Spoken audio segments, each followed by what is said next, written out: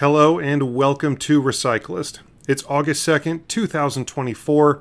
I'm your host, Eric Provost, and this is your weekly roundup of all the biggest news stories in the world of waste, gas, and energy presented by Diamond Scientific. First things first, and as always, let's take a quick look at the stock market and five stocks on the move this week within the world of waste, gas, and energy.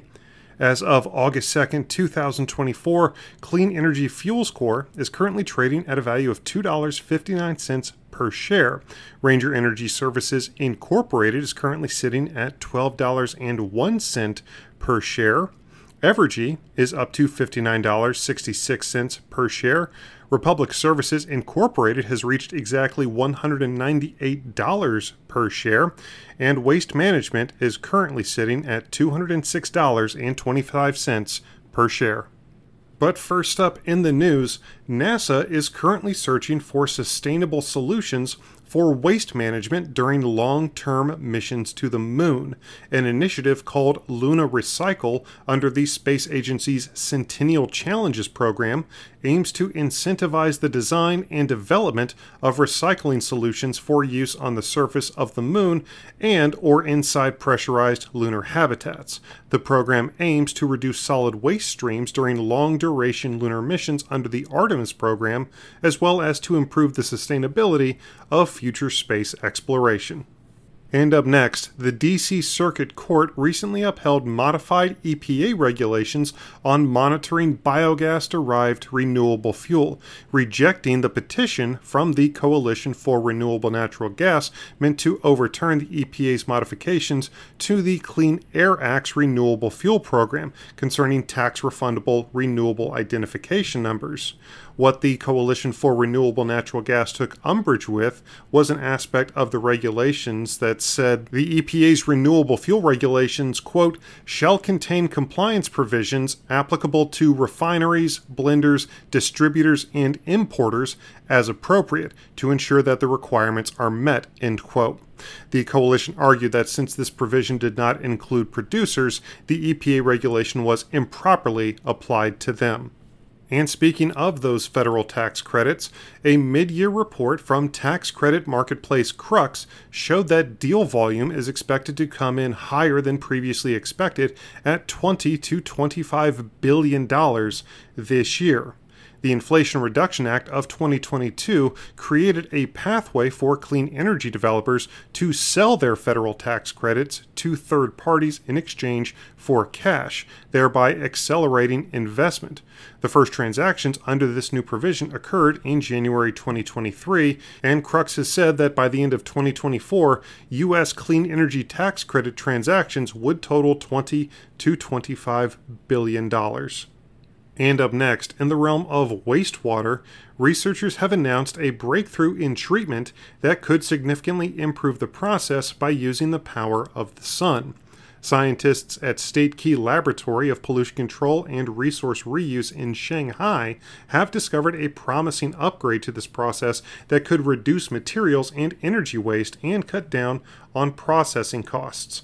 This new technology would combine metal organic frameworks made of copper and cobalt with fortifying chitosan, creating a robust material that's not only able to withstand the extreme demands of industrial wastewater treatment, but can also self clean by harnessing the power of the sun. And just a reminder Recyclist is a registered trademark of Diamond Scientific, industry leaders in gas analysis, instrumentation, and solutions. Make sure to visit them online at diamondsci.com. That's diamondsci.com. Or you can even set up a personalized presentation by calling 321 223 7500. Now on with the news. And up next, Bright Renewables and Burke RNG have joined hands to develop four renewable natural gas projects to help mitigate methane emissions. These series of projects encompasses four initiatives across Michigan and New York, where Bright's proprietary deoxygenation system will be integrated with Bright Renewables' three-stage membrane upgrader. Beyond these projects, Bright will also provide service and maintenance at three existing sites in Michigan and New York. Burke and Bright together currently operate six upgraders at three different locations and hope to collaborate on several more projects together to reach sustainable goals and remain frontrunners in the RNG industry. Bas van Berkel, president and CEO of Burke RNG, said, quote, by working with Bright Renewables, we are helping to build out the renewable natural gas production industry. Our focus on realistic projects that benefit farmers goes hand in hand with Bright Renewables' commitment to innovation and standardization. End quote. And up next, we don't go to Europe very often on this show. However, the European Commission has approved a French proposal to provide 1.5 billion euros in government assistance for renewable natural gas projects throughout the country.